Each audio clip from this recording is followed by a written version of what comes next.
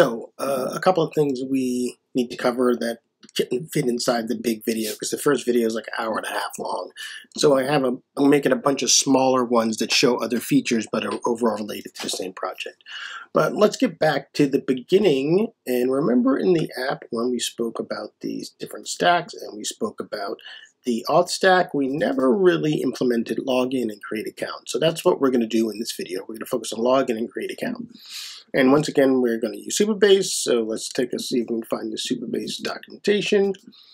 And here we are in authentication. And so let's get this fired up. So let's go into settings and enable email sign up. Uh, if enabled, user required to confirm an email changes, both old and new. New. Let's just turn all this other stuff off for now. Okay. All right.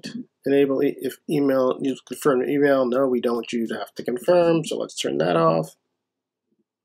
Okay. We're not going to do anything magical right now. We're just going to do basic email login to show you how quickly it is to get it, quick it is and easy to get it set up.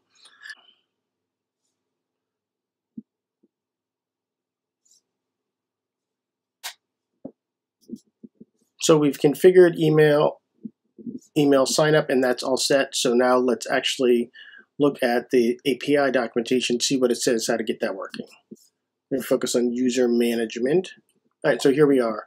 Makes it real easy to sign up, and that's what we're going to do. So we're to do a, we're to do these two, the sign up and then the user login. So let's go back to our code. And let's hop over to our auth stack. And uh, let's start in, yeah, let's start in our auth stack. And so let's look at our, our login page. And so here we just have our email and our pass. Uh, this is the create account. We just want login. So here we are on login. Let's get this out of there. And I'm going to take the title out and we're going to say set email set password. And then we're going to do like we did in the other ones. We're going to have just some local state variables to manage it. And we're going to say email.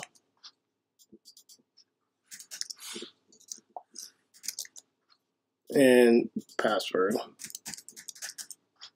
And set password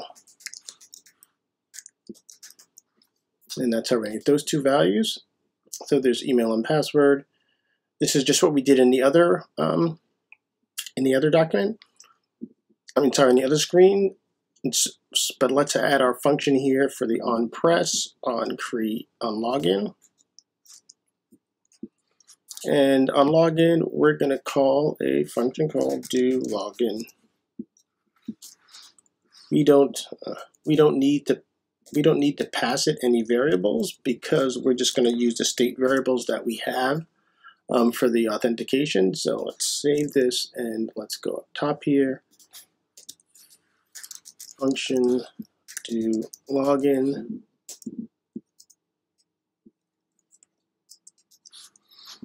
And this is a async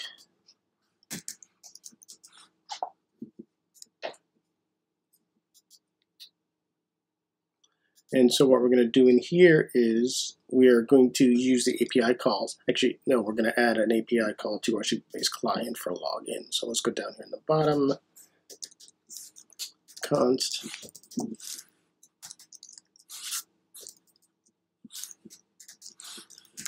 sign in.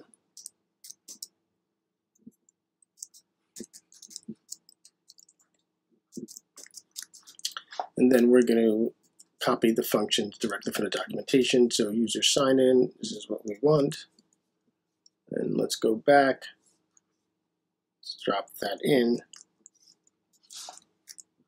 And we are going to get our email and password passed into us.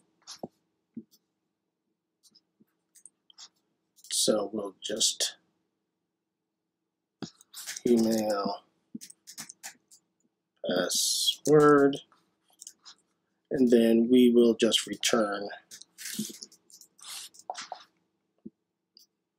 this.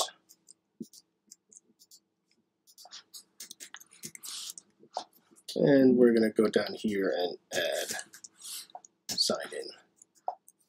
So, and also let's make sure I get this right, Supabase client. So now let's go back to our auth stack. And in here, we are going to do const email, uh, user error and equals wait sign in. That automatically imported it, so let's just so everyone's happy. Uh, where is it? Sign in from Supabase client is right there. And we need to, so if there's an error, if error, then we're going to throw an error message. Otherwise, user's logged in. And we need to get the email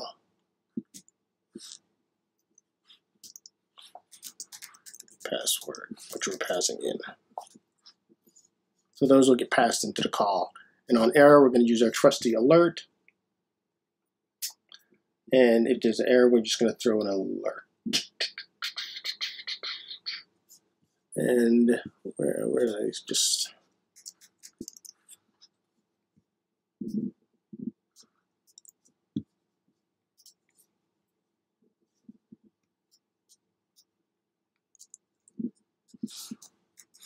Okay.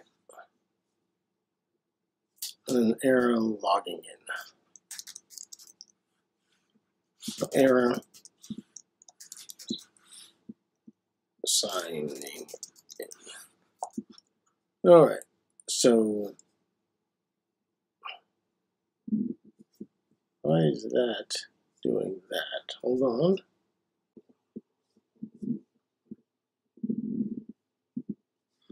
Oh, wait, before we move on though, let's check a couple of things. So that's right, that's right. Email to set password. There should be password. So we set the password properly. Um, create account, our do login looks good. Uh, do sign in. All right, this looks right. Uh, but we need to account for the authentication. So let's go back to our app. And this is all the code, the authentication code I spoke about in the beginning. So let's uncomment this and talk about what's happening here. What's happening here is that when Supabase initializes, it checks for an authentication session. If there's a session, I set auth. If auth is set, then I route to the home screen. If auth is not set, then I route to the auth stack. What I also do is I set up this listener, and what this will do is if the authentication state changes, then I set the auth to the authentication session. So then once again, auth is true. Then since auth is true, it will go to the home screen stack. So this, what will happen is this will automatically pick up when a user logs in and will change the um, auth session. We'll change the auth here to true. So as soon as I log in, it will switch the navigation stack to the home screen versus the authenticate versus the auth screen stack. And the exact same happens, opposite happens when I log out this listener will detect that I've logged out. It'll null out the auth. Auth is null, and then it'll redirect to the auth stack. So, and this loading here, what it does is this is just holding to make sure that we um, give Supabase some time to get the auth session before we attempt to render any stack. All right, so let's kind of save this and see what happens. All right, it's throwing an error because I didn't export Supabase. This is actually Supabase client. I should move this inside of my client, but for now, I'll just leave it out here to get this moving. Let's take their client and add that here and add that here and save again. All right, so it doesn't think I have a user, and so that's why we're where we are. And so now let's go back to my auth stack. Let's check everything, my do login, and I have my sign in function. Let's check my sign in function and my sign in function looks okay except for this. I want to sign in, not sign up. Sign in. Okay, and we let's see if it, let's go back to my auth stack. It should start throwing errors because I don't have any users, so let's make sure that works. Um, that's not good. Uh, what's it complaining about? Title is not defined. So what is title? Okay, so we're up. Let's test and see if we can get any errors generated. All right, alert is not defined in do login. So let's get alert added. And that should automatically add it as an import. Let's try again. So we're getting what we expected. Well, so because I don't have any users. But I just realized I can't log in without users, so let's hop over and let's do create account. And so we can copy a lot of the code that we've already put together for um, in our do login screen. So let's just start by just taking all of this right now for my login screen. And let's hop down to our create account screen.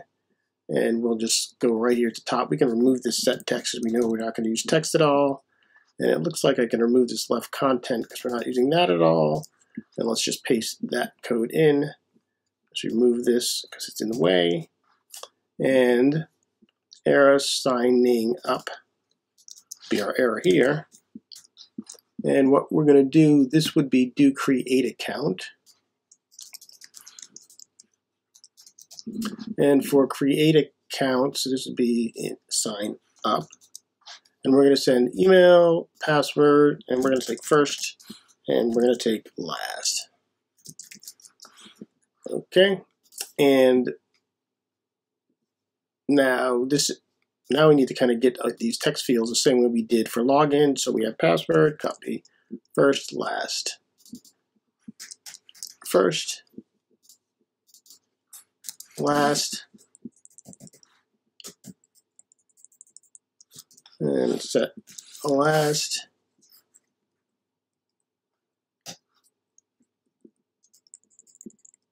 Set first, F-I-R-C.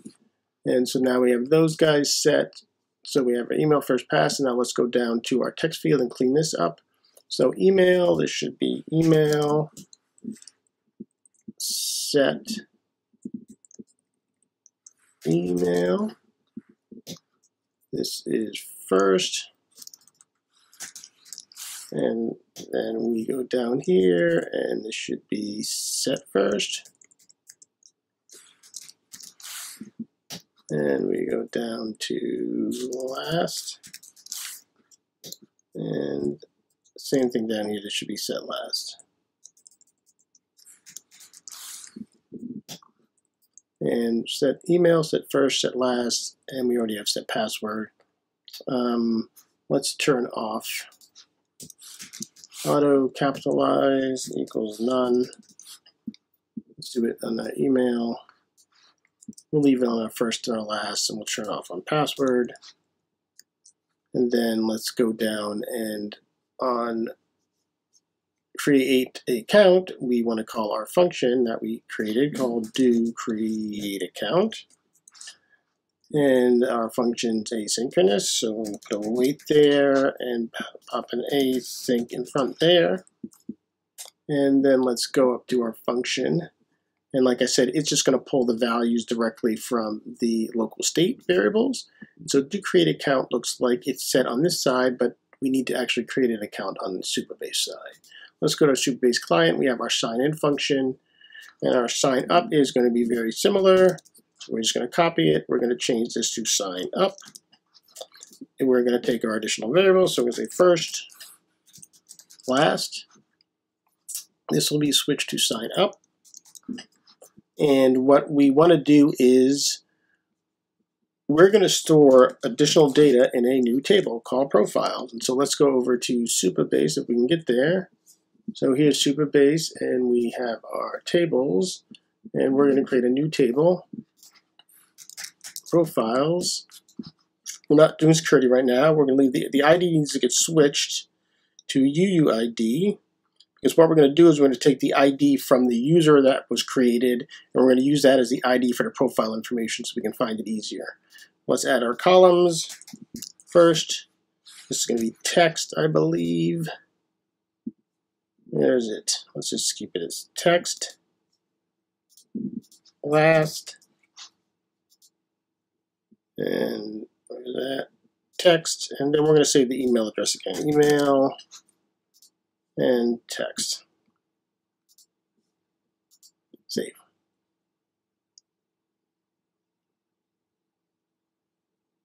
So now we have our profiles table, and what we're going to do is, after sign up is successful, we're going to insert the information in the profiles table. So let's go back to our source code. And so we our first, remember this is two parts, let's make sure we export this. Sign up, eh. All right, um, there's two parts. First, you need to create the account in Supabase, and then you need to actually insert the record. And so let's go up here and grab an insert. Where do we do an insert? Save charger data. This should work. We're going to come down here, and after sign up, because it's two steps, uh, we're going to go in here, and we are going to add the profiles, and we are going to pass in all this data. So we're going to do this, except for password. And then we need to set the ID. And the ID is going to come from the user, which we have above. So we're going to say user dot ID. So we're going to get the ID from the user, and that's where we're going to insert to the profiles table. But we need to handle the errors here. So this first error is going to be sign up error. And this next error is going to be profile error. And what we are going to do is, if there's no sign up error, then we're going to execute this code.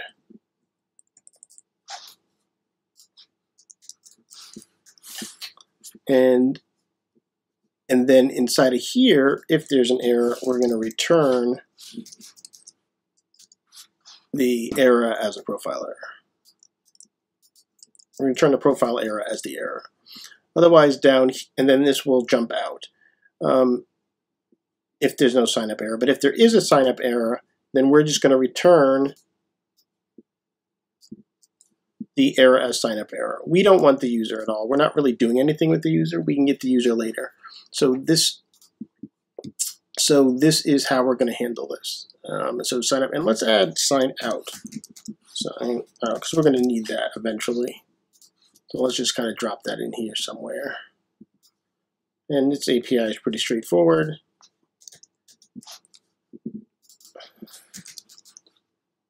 Sign out. It takes no parameters. And all we need from it is, it is a user. I mean, there's an error. If an error is thrown, and we'll put sign out up here.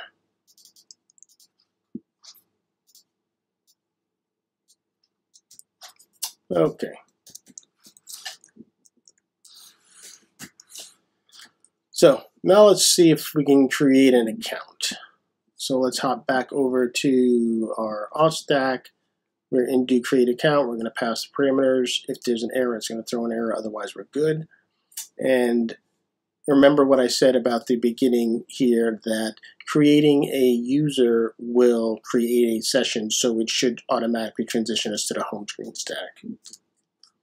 And then in the home screen stack, so we know we're actually logged in, let's just go right up here in the top, right before our list, and just, just title T title, and in here we'll put the email address of the person that has connected. So we can say Supabase client, since now I'm just using it everywhere, user, no, auth, user, email, oh, sorry, get the user like that, then email. And so we'll be we'll get the user's email. Let's put it. Let's let's say be nice and welcome. All right. Let's give it a go. So a at mail dot. Oh, did I not fix these and create account? Let's see. Let's refresh and see what's happening. Let's try it again. Create account. Okay, so why are we getting text on? Text is not defined. Where is text still showing up? Right here. Password. Uh, we were missing the password one. This should be set password. Let's try it again. Create account. That's better. A at mail. Com.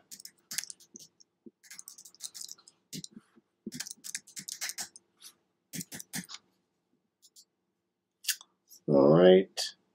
Somebody threw an exception. What wasn't good? Sign up is not defined. I didn't pass it back.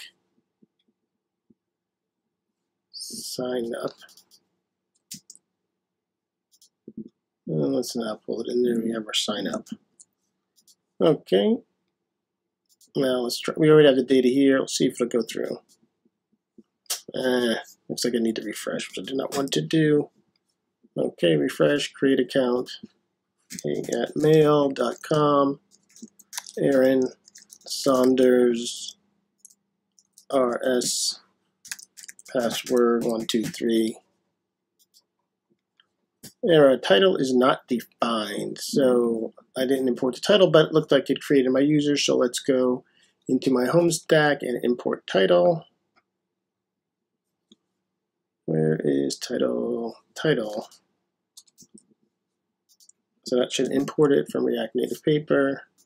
Dismiss. Let's refresh. And so it logged in with my user automatically, and that happened because it found the user session. And so since it found the user session, it set auth to true. Since auth was true, it redirected to me to my home screen stack. What's missing is our logout. So let's add a logout. We're, it's going to be ugly, but we're going to just shove it right up here on the side. So let's go to home stack and we're going to copy these this navigation options and instead of this header right we're going to take and do a header left with the logout and we're going to make the button look a little different. We're going to call sign out. That should have auto unless this needs to be async yes fine C let's do an await. This should have auto imported it, so let's just verify. So sign out is there, and let's refresh and see if we get our button. And I didn't get my button. What did I not do? Um, we were at the home screen, right? Oh, I did two right buttons. This should be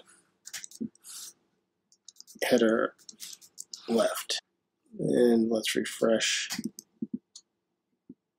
And it should not be add, it should actually be logout. Let's refresh. Okay, let's see if I can log out my user. So a user logged out, came back to the screen, and I should be able to get back in, email. Is, let me turn off that capitalization on my login screen. Oh, stack screen, email, auto capitalize equals none. And let's make sure we do the same on our password. Now let's refresh. And let's do a at mail.com. Log in. Hmm. One, two, three. Let's try that. There we go. And so it's logging in as we wanted to. So we showed how to log in a user and how to create a user. And then let's also show use Supabase to see that we actually saved the profile information for the user because that would be important. And looks like we didn't. So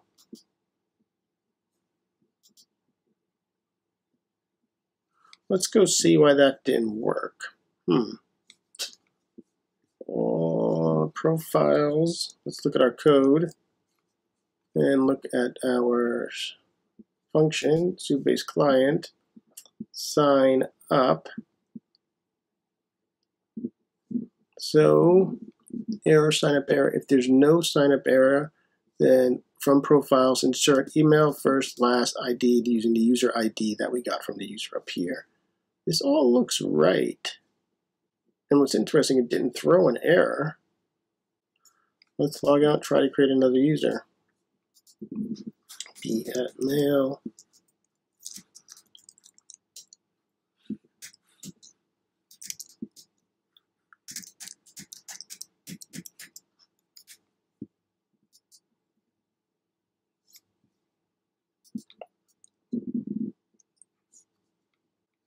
That one worked fine, so hmm. Don't know why the first one didn't go through, but it looks like everything is working fine. Then we can take a look here at our users. We see we have our users. And like I said in a later video, or maybe we'll show how to do a profile, you can see how we can pull the data back based on this user ID, right? Because there's the user, there's a user ID. So if we look at the um, B at mail, we can see the ID ends in C598. Then if we go to our profiles table, we can see it ends. Let's uh, edit this row. You can see it ends in the same ID. So once, so what happens is the well, actually, let's just show you. Um, we don't really have anything to do with the data now, but we'll just show you on the sign in. So what we're going to do is after I sign in, we're going to use the same approach that we did with the sign up. If there's no error, we'll just pull in the other data. So let's go in here.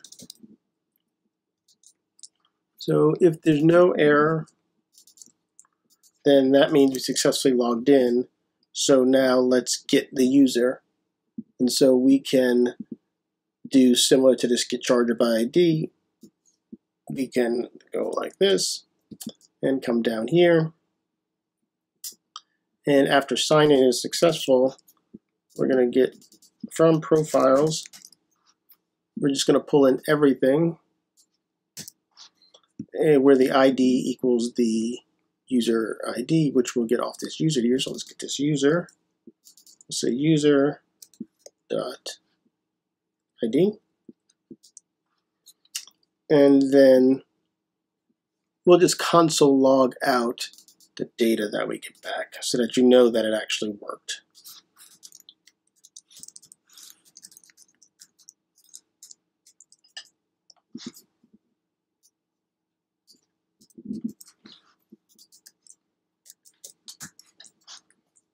All right, error.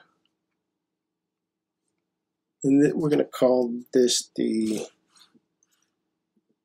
user error. So if there's no error, then did the user error, then down here we're going to return. If an error happened, we'll return this error.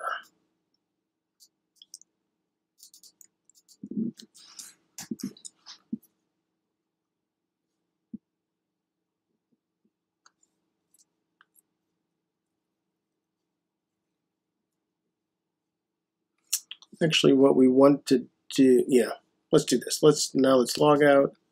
Let's log in as well, let's refresh. Let's log in as b at mail.com. And then if we look at our console, we get all the information right here where we get when it was created, we get a male, we get the first name, we get the last name, we get the ID. So that's how that's why we tied them together with the um, ID that came from the user. So this is what we're going to do. We're going to end this video now. Like I said, we're going to create a series of short videos to augment the longer video. Um, I think the next one we need to cover delete. No. Um, so I hope you enjoyed this video and stick around and catch the next video that adds value on the big guy. Talk to you later. Bye.